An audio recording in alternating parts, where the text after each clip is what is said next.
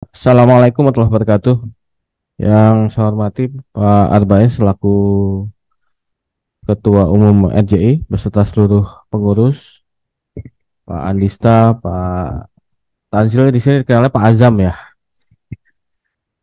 Kemudian Mbak Lydia, teman-teman RJI semua, Bapak Ibu semua. Uh, terima kasih banyak atas kesempatan yang diberikan kepada saya. Mungkin kita uh, sedikit merefresh ya terkait dengan perkembangan akreditasi terbitan berkala ilmiah di Indonesia kurang lebih tapi dalam kurun waktu setelah 2014 terutama. Oke, uh, mungkin uh, tadi sudah diperkenalkan oleh Mbak Lydia. Saya Arif, dosen dari UIN Sarif Hidayatullah Jakarta. Kemudian kebetulan juga jadi anggota Dewan Penasihat RJI dan juga ketua satu Hebi. Di sini saya berdiri sebagai ketua satu Hebi, makanya tidak pakai baju seragam seperti Pak Andisa dan uh, Mbak Lydia. Karena baju juga udah kecilan.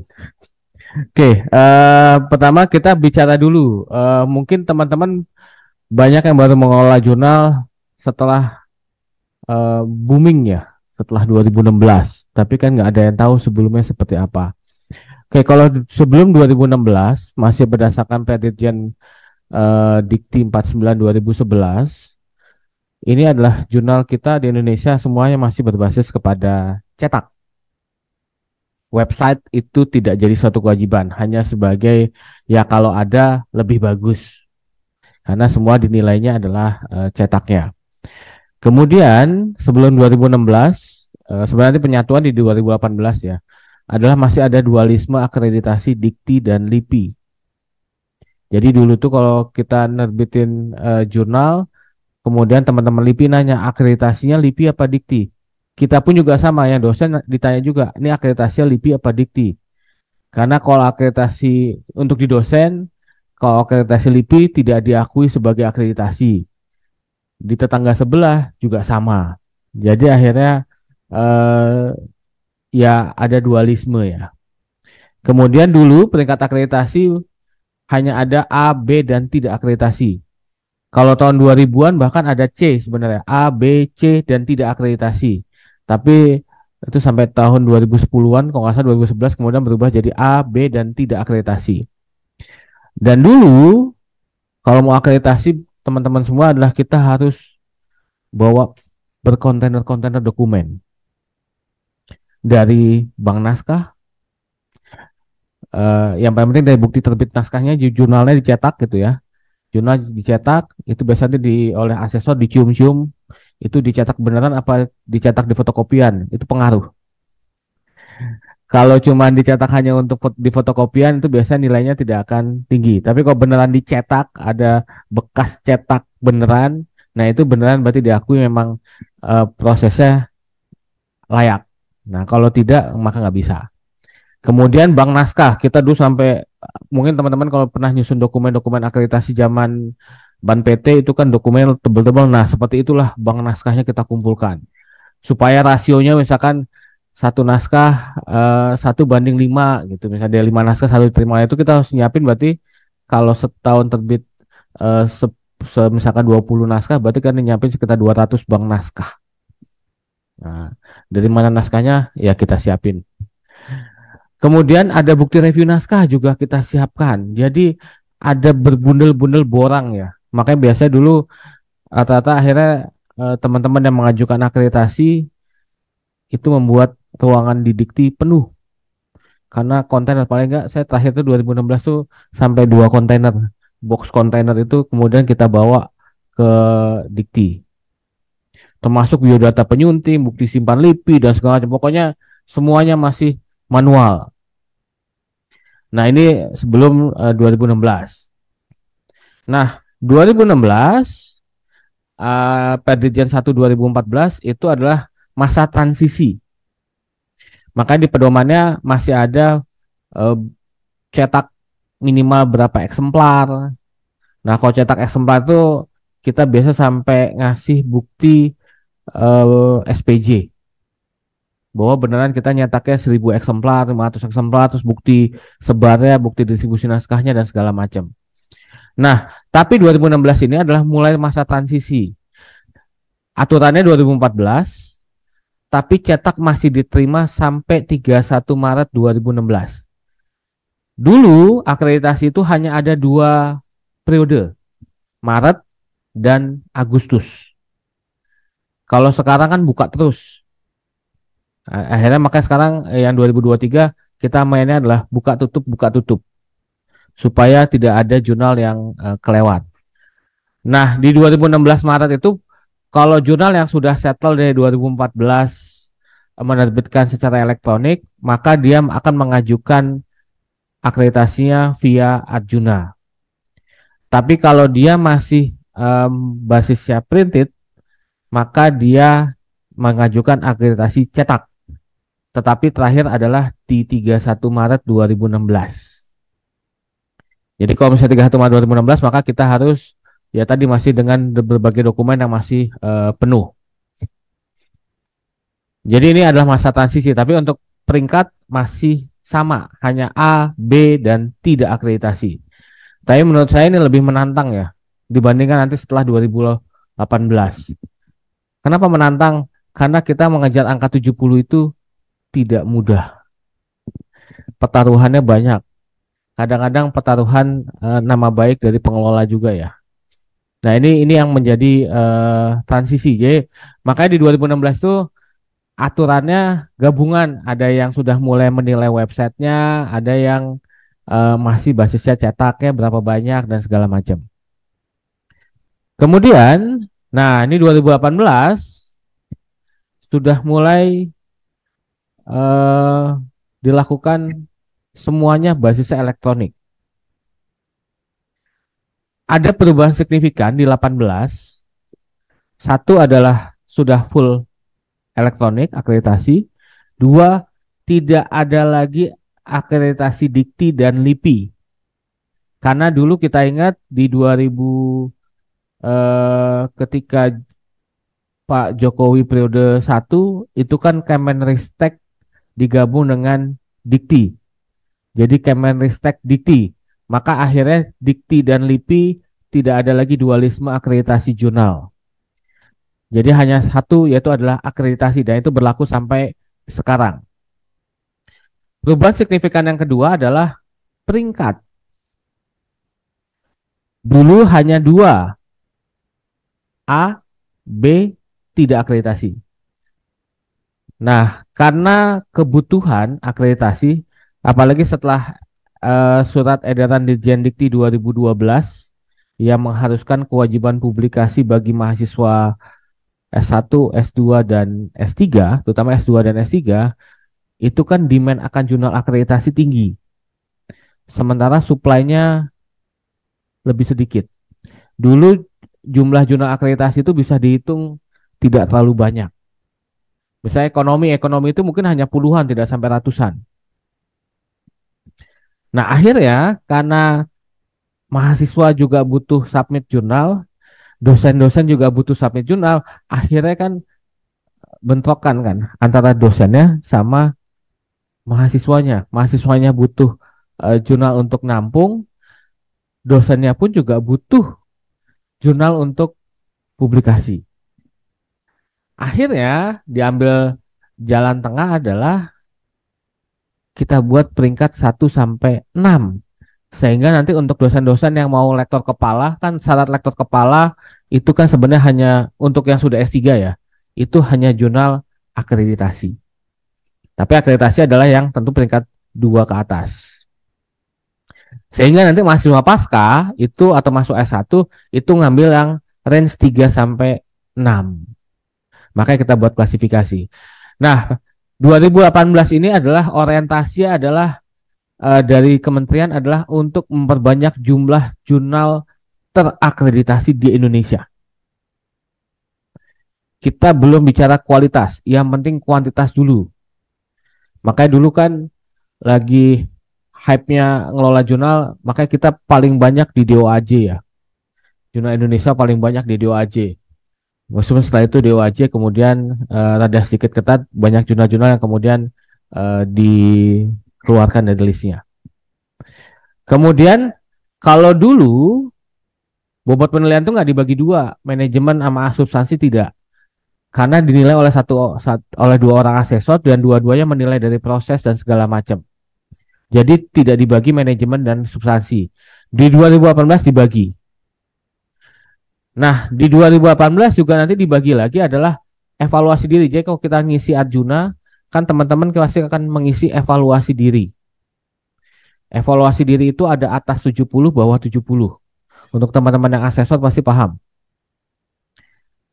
Nah, kalau atas 70 itu dinilai oleh empat orang asesor. Dua substansi, dua manajemen. Sementara kalau bawah 70 dinilai oleh dua orang asesor atau yang biasa kita kenal disebut namanya adalah evaluator. Nanti di 2021 sedikit diubah, di 2023 juga sedikit diubah. Mulai 23 itu tidak ada lagi atas 70 bawah 70. Kenapa? Karena nilai yang dinilai oleh evaluator uh, overshoot kadang-kadang terlalu tinggi. Kemudian masa akreditasi. Kalau dulu masa akreditasi adalah terhitung sejak tanggal ditetapkan. Jadi kalau SK-nya 2016 maka ya mulai berlaku 2016 itu. Di 2018 akreditasi adalah terhitung dimulai sejak nomor terbitan dinilai baik. Apa beda ya? Bedanya adalah yang menulis penulis-penulis yang lampau itu bisa diakui. Jadi misalnya kita ngajuin akreditasi dengan mensubmit terbitan 2000 misalkan let's 2017 18. Maka yang 17 18 sebelum akreditasi pun diakui karena terhitung sejak tanggal terhitung baik. Jadi di sertifikatnya akan jelas mulai volume berapa sampai selesai volume berapa. Kalau dulu kan ketika sudah akreditasi yang lampau ya udah jadi hanya masa lalu ya. Dia nggak bisa ngeklaim itu bahwa saya dulu pernah nulis jurnal akreditasi. Iya, tapi sebelum jurnalnya terakreditasi. Jadi tetap kumnya adalah kum tidak akreditasi. Nah, karena uh, pedoman akreditasi ini 1 sampai 6, akhirnya implikasinya juga adalah untuk dosen akhirnya kita di 2019 kan berubah juga POPAK-nya. Jadi jurnal pun diklasifikasi 1 sampai uh, eh, 6. Kemudian hal yang signifikan juga adalah di 2018 adalah boleh mengusulkan kenaikan peringkat setelah menerbitkan satu terbitan terbaru. Tapi di aturan 21 ini 2021 ini diubah. Tidak boleh lagi minimal dua tahun terbit atau empat nomor. Kenapa? Karena hakul yakin kalau cuma nerbitin satu kali pasti belum ada perubahan yang signifikan. Makanya kita bilang kalau nggak ada perubahan ya buat apa kita nilai lagi toh ya di Sinta 4, Sinta 4 lagi nggak akan bisa naik kedua karena baru satu kali terbitan nggak ada perubahan signifikan ini adalah akreditasi 2018 berlaku sampai 2021 2019 kita tahu kan kemudian uh, Jokowi periode 2 Dikti dikembalikan lagi ke Kemendikbud. Tadinya jadi jurnal jurnal akreditasi jurnal itu uh, bolak-balik ya. Awal Kemendikbud, kemudian Kemenristek Dikti, kemudian karena Dikti dikembalikan lagi ke Dikbud, jadinya uh, dulu adalah Ristek Brin, Kemenristek Brin. Nah, dulu jurnal setelah Dikti pindah balik lagi ke Dikbud, dia tetap awalnya di Kemenristek BRIN. Tapi kan kemudian di 2020 ya, kok nggak saya nggak salah ya, yang kemudian BRIN uh, Ristek BRIN dibubarkan, Risteknya balik ke Dikti, balik ke Dikbud, jadi ke mana kayak namanya sekarang adalah Kemendikbud Ristek, BRIN-nya kemudian mengakuisisi semua litbang, lembaga riset, BPPT, apalagi tuh, Lapan, Batan, dan teman-temannya semua jadi satu BRIN. Nah, jurnal akhirnya balik lagi ke Dikbud. Nah, ketika balik lagi ke Dikbud, Pak Dirjen, Pak, Pak uh, Prof Kizam uh, Prof Nizam itu kemudian uh, membuat ada perubahan. Makanya kalau yang teman-teman pernah mensubmit akreditasi di 2021 kan tuh sempat ke pending lama ya. Karena pedomannya ada yang sedikit dibuat lebih susah. Kalau dari sisi peringkat tetap 6 peringkat, 1 sampai 6. Kemudian bobot penilaian ditambahin substansi lebih berat 1 poin, 52 dan 48. Tapi kemudian ada beberapa perubahan signifikan di beberapa indikator. Contoh, dulu definisi defisitas editor apa? Berkualifikasi internasional, nasional, itu adalah dilihat dari publikasinya. Di 2021 tidak dilihat dari publikasinya saja, tapi dilihat dari asal negara. Akhirnya banyak jurnal yang masih berbahasa Indonesia pasti jatuh nilainya. Kenapa? Karena nggak mungkin jurnal bahasa Indonesia punya editor dari luar negeri. Termasuk reviewer dan penulis. Itu juga sama tulisan adalah diversitas adalah sekian negara, sekian negara, sekian negara. Paling tinggi kalau nggak salah lebih dari lima negara. Ada jurnal-jurnal yang dirugikan, ada jurnal yang diuntungkan. Salah satu adalah jurnal saya yang ekonomi naik ke Sinta 1. Jadi ya namanya kebijakan pasti ada yang dirugikan dan pasti ada yang diuntungkan. Tinggal kita ada posisi yang ada di mana. Tapi kayaknya lebih banyak yang uh, rada down. Kemudian cakupan keilmuan uh, dulu tidak jelas subspesialis, spesialis dan segala macam. Sekarang ada indikator adalah jurnal itu apakah benar-benar memuat sesuai dengan fokus and scope apa tidak. Jangan sampai misalkan Bapak Ibu ngelola jurnal um, misalkan fisika, total masuk ada artikel biologi, masuk artikel matematika. Nah itu nggak boleh, karena berarti dia di luar fokus and scope.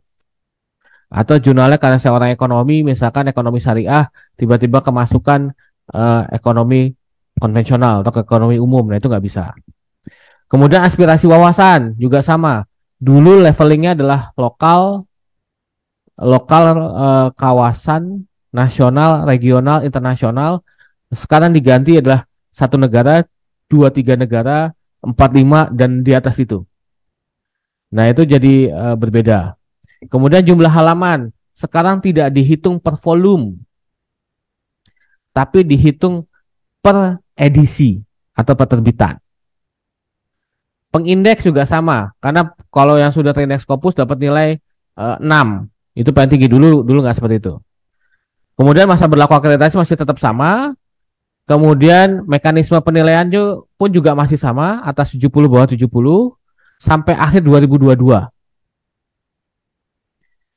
Kemudian mulai tahun 2023, Bapak Ibu, karena di pedoman 21 tidak ditulis uh, atas 70 dan bawah 70, maka kebijakan dari kementerian adalah semua jurnal dinilai oleh empat orang asesor.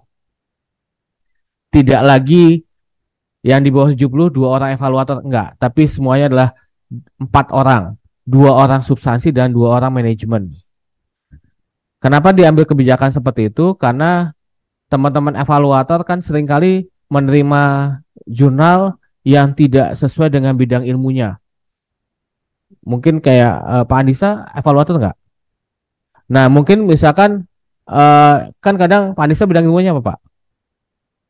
Pendidikan. Tahu-tahu kadang-kadang dapat jurnalnya uh, eh, IT ya kan nggak pasti kan akhirnya kita bingung nih baca papernya apaan akhirnya kita ngambil nilainya adalah yaudah nilai average aja deh gitu akhirnya overshoot makanya kan dulu ada yang bilang masa jurnal kayak gini aja Sinta tiga masa jurnal gini aja Sinta empat ya itu kenapa karena overshoot ngasih nilainya makanya kita akhirnya semua diinikan dan mungkin untuk uh, informasi saja teman-teman mungkin uh, ada beberapa tahapan akreditasi ya, proses akreditasi. Satu, ketika Bapak Ibu submit akreditasi itu akan dinilai dulu oleh des evaluasi ya untuk menilai kelayakan secara administrasi.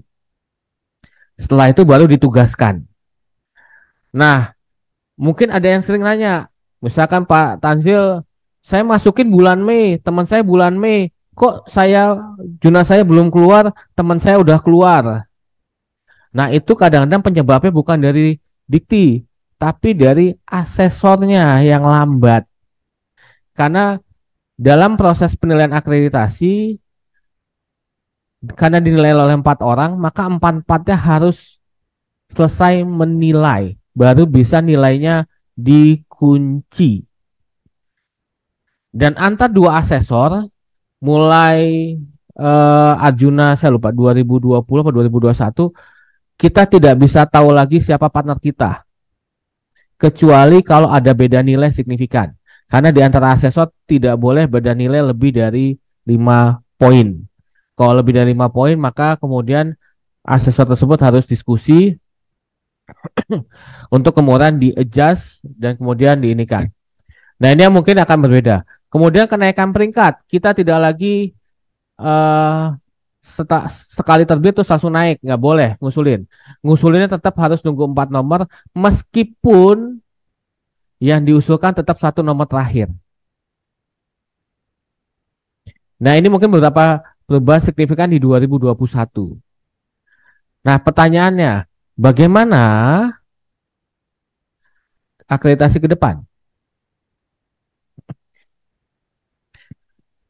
mungkin saya ada beberapa hal yang sedang kita diskusikan. Satu, sekarang bobot penilaian substansi akan jauh lebih besar daripada manajemen. Kalau tidak salah sampai di angka 61 eh 69 61 39 kalau nggak salah. Kalau nggak salah ya. Kalau nggak salah berarti benar. Kemudian beberapa penilaian aspek manajemen dibuat lebih detail. Misalkan gini, sering kita di WAG RJI, anggota RJI itu diskusi masalah berapa banyak reviewer sih untuk satu naskah. Banyak yang ngomong, kan harusnya dua. Ini masa jurnalis minta dua, satu paper cuma satu reviewer.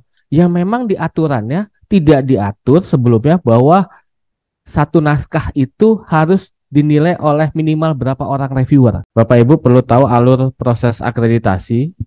Pertama Bapak Ibu tentu harus memastikan nama pada uh, Garuda itu nama yang sesuai dengan ISSN karena itu menjadi dasar apakah kita bisa submit di Arjuna atau uh, tidak. Kemudian setelah kita bisa submit, maka kemudian yang kedua adalah akan ada evaluasi. Desa evaluasi ini melihat kesesuaian naskah dan segala macam, eh, kesesuaian uh, jumlah terbitan. Karena kalau reakreditasi kan hanya satu terbitan, sementara kalau usulan baru itu empat. Nah, Bapak Ibu, sebenarnya sering ada yang meleset adalah sebenarnya maunya pengusulan reakreditasi, tetapi sayangnya akreditasinya sudah habis.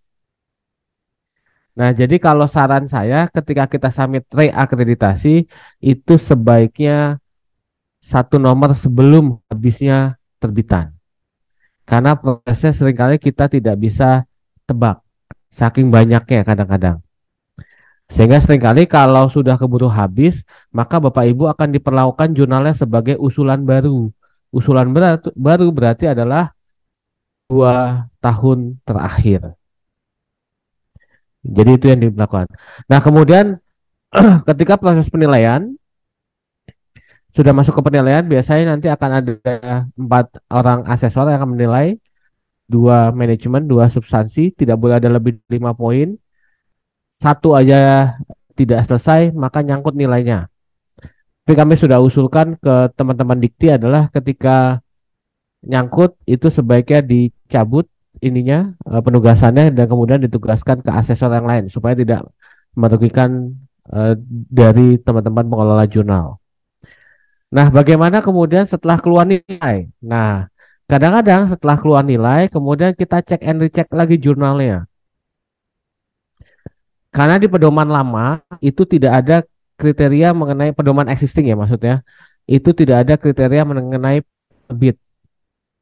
Karena kita tahu sekarang sangat banyak penerbit yang kita tidak tahu kredibilitasnya. Kalau kampus, oke. Okay. Asosiasi profesi, oke. Okay. Kementerian lembaga, nggak masalah. Kita legalitasnya clear. Nah ini kadang-kadang sekarang bermunculan, lagi-lagi karena supply and demand ya. Demand artikel tinggi, supply rendah, otomatis akhirnya banyaklah menyediakan supply jurnal yang kalau alam bisawab lah ya. Sehingga kemudian kadang-kadang ketika jurnalnya sudah dinilai, kemudian ketika ada aduan atau dalam tanda kutip ada ada kejadian gini. Jurnalnya menerbitkan paper, tapi ternyata papernya fully ngambil dari jurnal lain. Maka jurnalnya akan meskipun sudah selesai dinilai tetap tidak akan dikeluarkan SK akreditasinya. Semua akan ditahan. Jadi kalau ada kejadian-kejadian yang luar biasa, karena sekarang banyak penerbit yang terutama yang tidak dari kampus ya, itu mengkloning ya, ngambilin artikel orang dari jurnal lain, diterbitin di, di jurnalnya dia, di, di jurnalnya dia. Nah ini rada bahaya sebenarnya. Nah inilah kemudian akhirnya kenapa beberapa jurnal akhirnya ketika selesai dinilai pun akhirnya tidak dikeluarkan SK akreditasinya. Atau kejadian yang tahun lalu Pak Lydia ya, yang sudah keluar kemudian dicabut atau diturunkan. Nah, itu kejadian. Nah, makanya karena melihat kepada beberapa hal tersebut, maka nanti ke depan kredibilitas penerbit itu menjadi salah satu poin penilaian. Legalitasnya clear nggak? Jangan sampai instansi antah berantah yang kita nggak tahu gitu ya.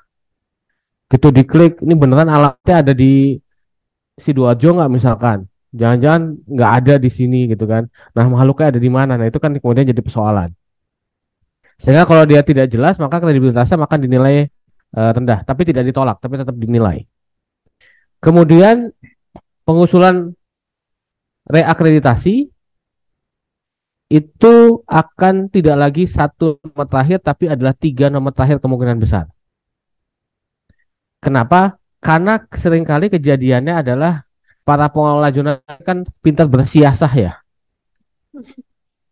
Jadi dicari yang benar-benar paper-paper yang paling bagus, top-topnya ditaruh yang di nomor yang akan diakreditasi. Proses manajemennya dibagusin semua di situ. Karena kan memang kita terkunci dengan aturan ya, lagi-lagi aturan. Makanya aturannya adalah sekarang kemungkinan besarnya ke depan adalah uh, beberapa nomor terakhir. Jadi tidak hanya satu nomor terakhir sehingga kita akan lihat konsistensinya bener nggak naskahnya benar-benar secara konten bagus secara manajemen bagus nah itulah kemudian uh, beberapa hal kemudian penilaian aspek manajemen tadi kalau nggak salah sampai tadi reviewer ya dulu reviewer itu kan di pedoman existing tidak pernah ada kata-kata harus direview oleh berapa orang reviewer sehingga ketika di grup RJI rame saya bilang secara aturan tidak pernah ada. Jadi cinta dua, cinta satu, kalau hanya satu reviewer, salah nggak? Enggak. Karena secara aturan itu tidak melanggar. Kan kita bicara aturan ya. Malum uh, orang birokrat kampus ya. Kan jadi secara aturan selama tidak ada aturan yang dilanggar, maka kita tidak boleh menjudge. Sebenarnya itu. Lebih baik satu reviewer tapi dia detail dibandingkan dengan dua reviewer tapi hanya typo salah font. Nah itu kan uh, atau grammarnya salah ya. Itu itu lebih nggak ini karena bukan itu yang dikejar. Tapi adalah bagaimana seberapa besar dia memberikan masukan atas naskah. Tapi karena melihat kepada perkembangan yang ada maka nanti kemungkinan besar nanti pedoman yang yang baru akan ada jumlah minimal reviewer kalau saya salah minimal dua jadi sekarang tidak ada complaining lagi ya. Wah ini masa Juna Sinta 2 cuma satu reviewernya. Sekarang kita state minimal dua. Karena kalau zona-zona eksak bisa sampai 3, 4, 5 dan seterusnya. Tapi kita tidak kalau nanti kebanyakan reviewernya nanti banyak jurnal yang downgrade. Ini aja kok pedoman baru nanti keluar bisa jadi jurnalnya lebih downgrade lagi, ada yang downgrade lagi. Kemudian diversitas editor, review penulis tentu lebih diarahkan ke internasionalisasi itu pasti penilaian masih tetap uh, seperti itu. Kemudian penilaian aspek manajemen beberapa hal yang mungkin uh, kalau kita ikut pendampingan kenaikan peringkat akreditasi kan sering kali dijelaskan ya, seperti nama sirahan, copyright, kemudian license, genesis artikel, itu kan tidak ada di poin penilaian pedoman yang existing. Nanti di pedoman yang baru itu akan lebih eksplisit semua. Jadi benar-benar uh, sesuai dengan apa yang pendampingan itu akan kita adjust, maka nanti semuanya benar-benar adalah sesuai dengan yang apa uh, materi yang sudah kita dapat selama ini. Jadi semua akan muncul. Nama sirahan harus seperti apa, jenis artikelnya history. Apalagi tadi kalau yang OJS bisa sampai uh, menuangkan uh, submitnya kapan dan segala macam. Nah itu lebih bingung lagi kita sebagai pengelola nggak bisa ngakalin lagi. nggak bisa bersiasa karena sih di dalam sistemnya sudah muncul langsung. Sampai dengan uh, copyright karena kan kadang-kadang kalau kita DOAJ kan diminta copyrightnya ke autor apa ke penerbit Nah, itu kan jadi persoalan kalau kita nulisnya ke penerbit. DOAJ biasa nolak. Nah, license. Nah, itu juga akan ditulis. Jadi nanti hal-hal seperti itu yang sebenarnya manajemen tapi akan dibuat jauh lebih detail. Nah, kemudian hal yang lain adalah selama ini insentif itu hanya untuk plagiasi. Sekarang tidak hanya untuk plagiasi tapi adalah untuk proses penerbitan yang tidak wajar. Apa yang tidak wajar? Satu, ada fenomena setelah akreditasi tiba-tiba terbitan satu apa, uh, jumlah artikel dalam satu terbitannya naiknya gila-gilaan. Yang biasanya satu terbitan 10 tiba-tiba 100. Nah, itu kalau deviasinya terlalu tinggi akan jadi uh, disinsentif. Tapi kalau naiknya masih dalam batas wajar, akan 10 naik ke 15 itu masih wajar. Karena bisa jadi kan kita karena demandnya tinggi. Jadi jadi kita akan melihat uh, deviasinya sebenarnya. Dan tidak harus plak sama misalkan 15, kadang 14, kadang 16 itu masih kita kategorikan masih dalam batas wajar. Kan minimal artikel kan adalah 5 dalam satu tuntutan. Pokoknya selama masih dalam batas wajar kita tidak akan ini kan. Tapi kalau tidak wajar misalkan tiba-tiba melonjak ke 100, 200, 1000 nah itu kita akan bisa disinsentifnya cukup besar nanti kemudian insentif yang lain adalah manipulasi citasi kadang-kadang nih ada temuan ya ada temuan. Di dalam terbitan yang sama ternyata sudah bisa saling mencitasi gimana ceritanya? Papernya sama-sama terbit di nomor yang sama, tapi di antara paper itu saling mencitasi masih dirinya masing-masing. Itu kan logikanya kan nggak mungkin. Belum terbit kok bisa disitasi, udah ketahuan sitasinya. Nah itu kan jadi uh, hal yang aneh. Atau kadang-kadang saking mau menaikkan karena dia punya dalam satu publisher itu punya beberapa jurnal saling dikutip, tapi pada jurnalnya nggak nyambung. Misalkan jurnalnya bahasa, atau mengutip uh, jurnal-jurnal uh, science, nah itu kan nggak nyambung. Nah, kalau itu ketemu, itu kena disinsentif lagi. Nah, disinsentif yang lain adalah manipulasi unique visit. Ini kan banyak ya teman-teman manipulasi unique visit adalah yang dipasang di, di apakah pakai robot atau apa ya. Itu yang dibilang manipulasi. Tapi kalau misalkan teman-teman sering uh, broadcast, posting, kemudian orang ngeklik itu nggak nggak apa-apa. Itu masih dalam itu masih wajar.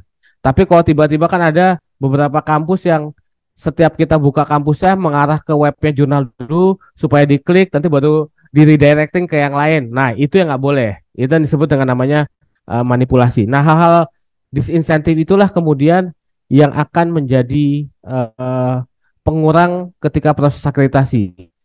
Jadi bisa jadi nanti ketika akreditasi nilainya sudah keluar Sinta 3, Sinta 4, eh itu dapat disinsentif habis nilainya juga bisa tiba-tiba nol. Kenapa? Karena kebanyakan disinsentifnya. Kalau dulu kan hanya plagiat, sekarang kita tambahkan yang lain-lain. Karena kita tahu siasahnya pengelola jurnal, jadi siasah-siasah itu kita coba tutup-tutupi itu.